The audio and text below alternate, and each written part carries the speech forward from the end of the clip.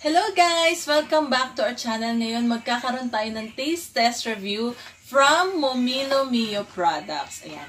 Ito ang kanilang new product, yung chocolate walnut pie. At ito yung kanilang bestseller na cheese pie. So, una sa lahat, kung mapapansin nyo, napakaganda ng kanyang packaging. Highly recommended siya sa mga uh, pang-gift sa mga occasion like birthdays, weddings, tsaka sa mga pang corporate giveaways. Yan. So, indicated na sa kanyang packaging kung ilang gram siya, tsaka kung description ng product na to. And then, dito sa likod, nandito yung kanilang address, which is sa Cainta Rizal, and yung ingredients nitong cheese pie, ng mga products nila. Indicated na yung ingredients dito sa likod. So, very ganda ng packaging. Yan. So, ganun din dito sa kabila, sa chocolate walnut. Ang pinagkaiba lang ay itong description. And then, itong product nila, uh, tumatagal siya ng 3 weeks. So, open na natin. So, pag i-open natin itong product, may sticker pa dito.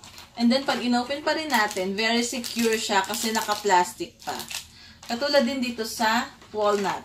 Yan. Yan. So, yung net weight ng walnut, 250 grams. Yung cheese pie, 300 grams. Yan. Mas maliit lang ng konti itong chocolate walnut. So, tikman na natin.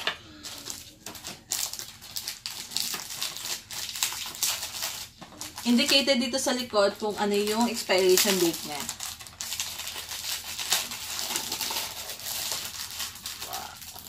Very secure ang kanilang product. And hindi mo naman to kailangang i-ref. Kahit room temperature lang. So, pagka bukas pa lang itong product, amoy na amoy mo na ng sobrang sarap. Tikman na natin.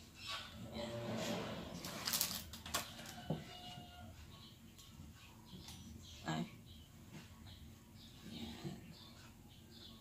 So, ganito siya kapal.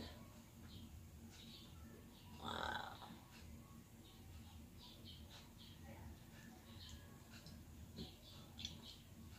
Mmm. Napaka-soft ng cake niya. Ang sarap. Pwedeng pwede itong i-partner natin sa kape or sa chocolate.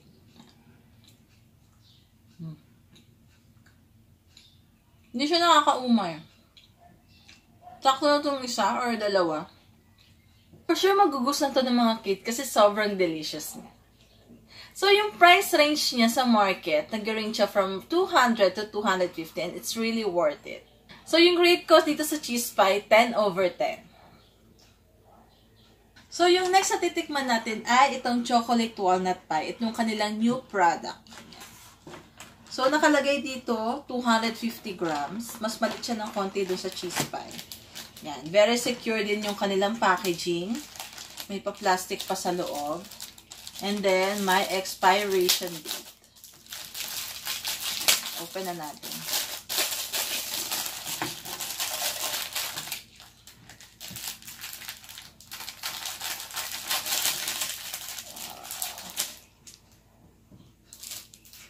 Pwede din itong ipadala sa mga province kasi ang ganda ng packaging.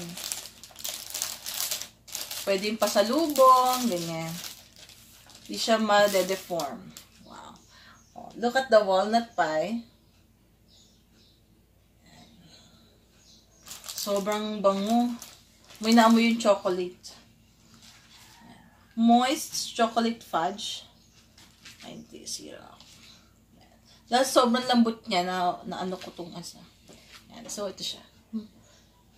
Makapal siya. Mmm. Sarap. So, yung, yung, yung nuts niya is walnut. Ang sarap.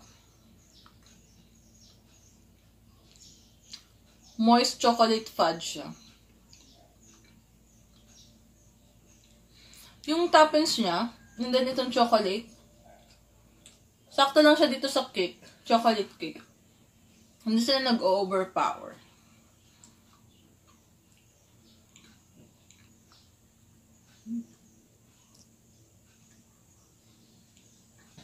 So, yung price ito sa market, from 220 to 250, nagma, uh, mas mahal lang siya ng konti doon sa cheese pie.